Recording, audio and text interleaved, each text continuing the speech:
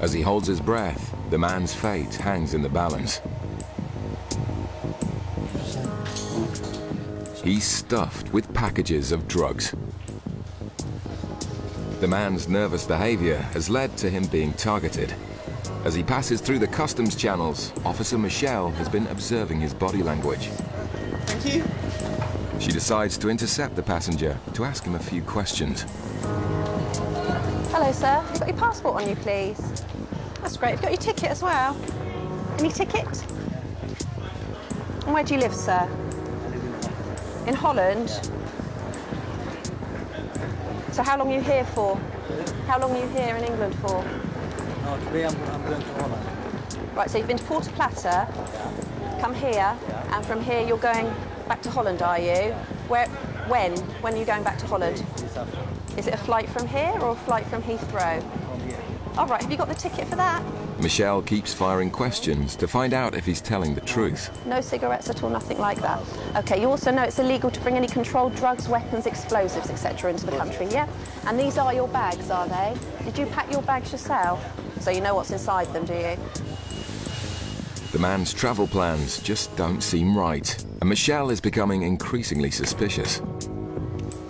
Just been out on a package holiday. Not staying with friends or anything, went out on his own. Works in a factory in the Netherlands. He's flying on back today. They're all all right, aren't they? The x-ray shows no concealments of drugs, but a concerned Michelle still isn't happy. Sometimes we have a problem with people bringing drugs through on their bodies. Okay. So therefore, we want, just want to give you a rub down of your body. Okay. But we won't do it here. We'll do it out the back. Okay. As the man's led away, there's a feeling his story just doesn't add up. He only works in a factory in Holland, so it's obviously not really well paid. Um, he's picked to go to Porta Plata, which is an unusual place for someone to go. He's gone on his own, and um, he's booked it all last minute. He's got all the extras you can possibly have, so it makes his holiday very expensive just for seven nights to, and to go on his own. It's, it's just bizarre. That's all. You just get feelings with some things, and it's just just doesn't seem right. Yeah, if you stand like this, that way. Yeah? Yeah, just the one. Go, go up onto the top, onto travel, travelator. If you can breathe in as well, that will help us. Ready, breathing. Try and hold. As he holds his breath, the man's fate hangs in the balance.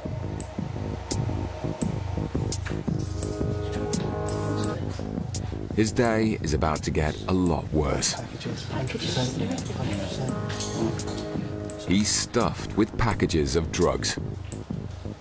Okay, sir. What we can see on the x-ray, looks like you have packages inside you. Time is 0853 hours.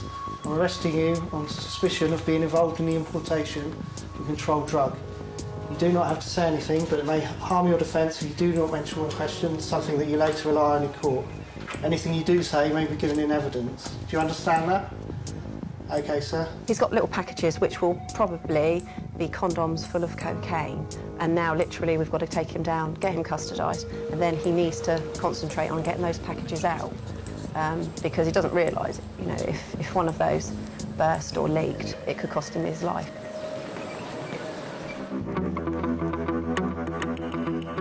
He's made aware of his rights by the custody officer and for his own safety is told to get the packages out of his system as quickly as possible. Basically, when people have an internal concealment, um, to make sure we can see if they produce anything, we change them into uh, what we call a white paper suit, and then we can see if there's anything happening. And un underneath, they'll be um, completely naked. The man indicates he needs to go to the toilet. But this is no ordinary toilet trip. And this is no ordinary loo. So he's gone into the special toilet facility where if he starts producing packages, um, they then have to be cleaned up by the officer who's gone in with him and um, then they'll be bagged up as well. So just waiting for him to come out to see if he has actually produced any. Yeah, yeah, put them on the. The gentleman said he needed the toilet, and while I haven't counted them at the moment, it looks like he's produced around 20 packages, and he's told the custody officer he's got 60 something. So obviously, the quicker they're, they're out of his system, best chance he's got of survival, basically. The The process of washing the packages is a very dirty job, but someone's got to do it. If one of the packages were to split, basically ends up in, with death within minutes, unfortunately. So that, that is why we try and get packages out of people as quickly as we possibly can, because the consequences of a burst package are pretty serious. With the packages washed, Officer Paul must bag them up and weigh them to find out what quantity of drugs the man was carrying. Definitely big packages.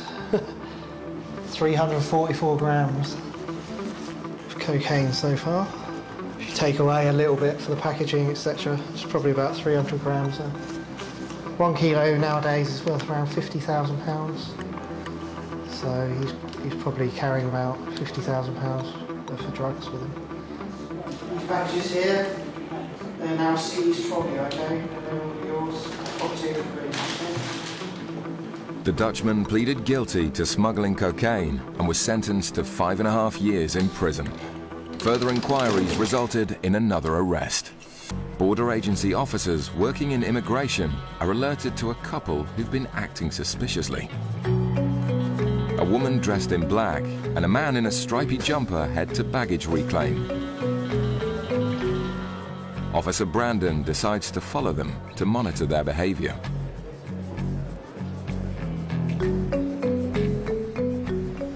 Two targets from Malaga. Um, we pull them on, just quick chat and check what they've got. You never know. Brandon moves into position, ready to intercept the couple as they pass through the customs channels. Hello, they're both customs. Just come through, please. Okay. Sure, just uh, part of the check, yeah. He gets his phone back, but seems a little agitated. Then a package is found, which might explain why. What's the name, mate? It's uh, sweets. Sweets. All sweets. For kids. Right, now you'll open it up because I can't see what's in there. Go on. But Brandon's not falling for that. He opens the package to check the contents himself. Yeah, it's a sweet is it? it's cannabis, it isn't it? Herbal cannabis. You're not sure? You said you packed the case yourself? All right. I say this time, all right, you're under arrest, all right? Right. Basically, you put you're both under arrest, you're both traveling together, okay? On suspicion of importing illegal drug, controlled drug, all right? Now, you don't have to say anything, but may harm your defence if you do not mention in question something you're too late to rely on in court, right? Anything you do say may be given in evidence. Do you understand? With both passengers under arrest, their cases continue to be searched. And it doesn't take long to find a number of identical packages. How much you got in total, mate?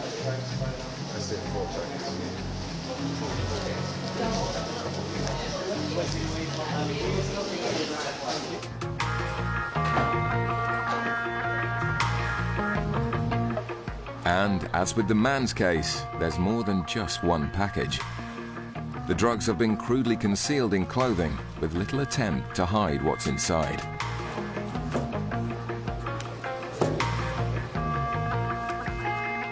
As the last block is removed from the case, the couple know they've been caught red-handed.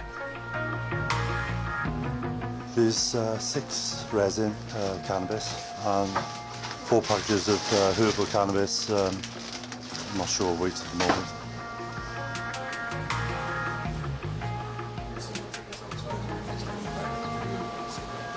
I, I understand what you're saying, but I can't at the moment. All right. The man should perhaps be more concerned about the illegal drugs found in his suitcase than having a cigarette. But tampering with the drug seizure will only get him in more trouble. As the couple are taken away for a full body search, officers are eager to find out how much they found. 2.68.